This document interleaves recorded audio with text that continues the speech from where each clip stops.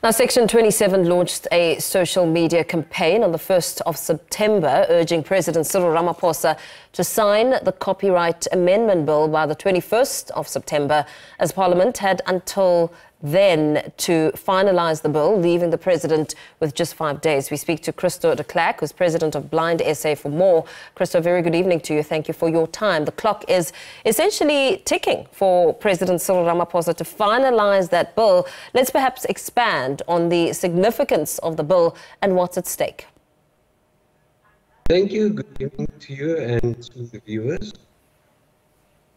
Two years ago, the Constitutional Court found the uh, Copyright Act of 1978 to be unconstitutional in that it does not provide for copyright exemptions to make material accessible to blind persons. In other words, to allow us to put it into braille, large print, audio, or electronic formats which are accessible. Uh -huh without having to grovel before uh, publishers for permission, uh, permission which in nine out of ten uh, cases we did never get.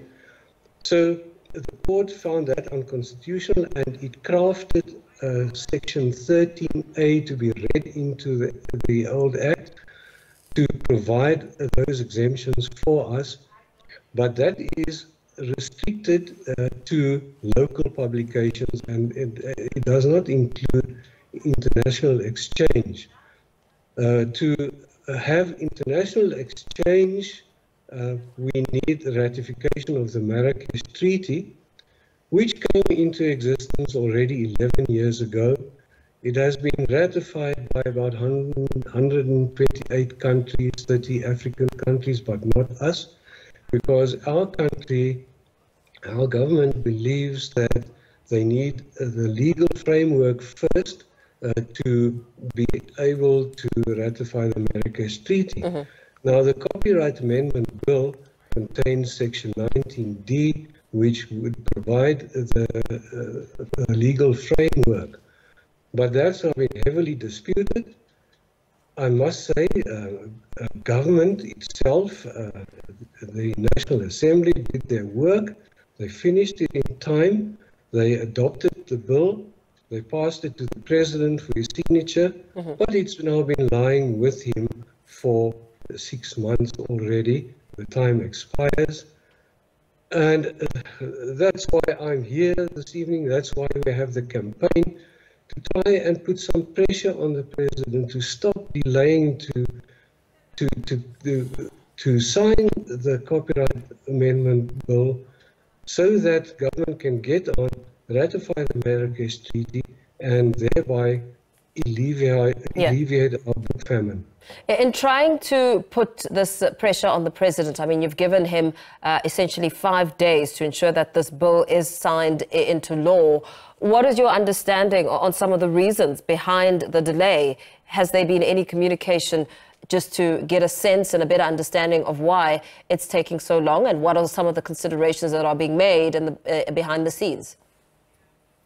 Um, Section 27 wrote to the presidency on our behalf requesting some feedback. Uh, when nothing came, they wrote again, and then the president spoke. A spokesperson responded that the president is aware of the matter. The bill is with their legal advisors who are examining the bill for uh, constitutional compliance, and that is far as far as we got. Yeah, you, you spoke a bit about uh, Section 19D, which uh, provides the exceptions to transcribed reading material into uh, accessible formats like Braille, large print, and audio. How will this be beneficial in accessibility? Because as you and I speak, it's a criminal offense to, to convert books into accessible formats without the consent of the copyright holder in terms of the Apartheid uh, Copyright Act. Yes, it's an absurd situation um, I studied law, uh-huh. and in order to get my my law degree, I had to become a criminal because many of the books I could not get copyright or not in time in any event.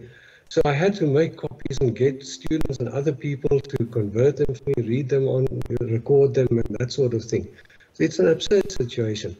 Uh, fortunately, now with uh, Section 13A, which has been read into the old Act, we have we have that right now for local publications, but not for the international exchange.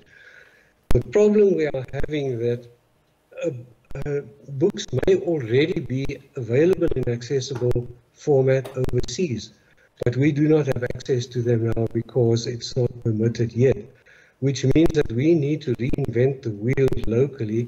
We've got to make a book accessible, which already is. And if I can give you an example of the average novel, to convert that into Braille, would take approximately 28 days and would cost in the region of 24,000 Rand. Hmm. So we'd have to spend that money at that time for something which is already available because the president hasn't signed the bill into law and hasn't ratified Marrakesh treaty. Mm. Should the president not meet the deadline, what action will follow?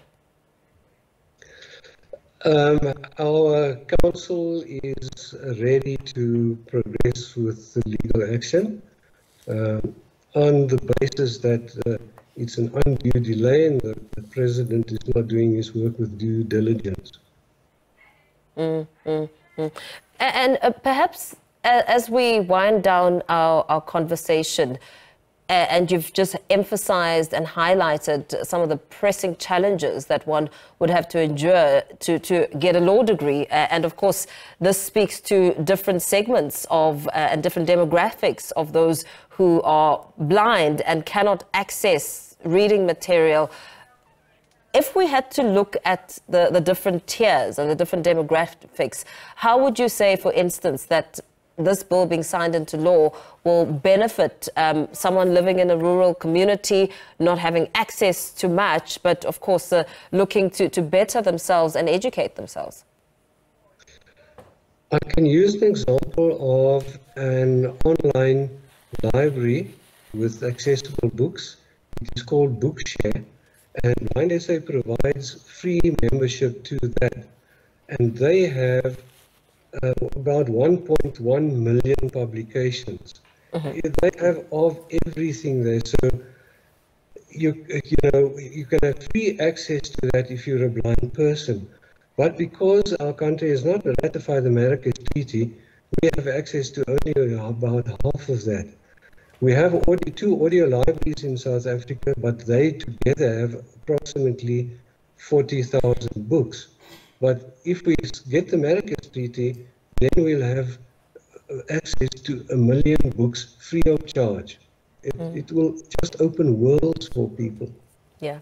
Absolutely. Thank you so much. Uh, a story that we will continue to keep an eye on. Thank you for your time, Christo de Klerk, President of Blind SA.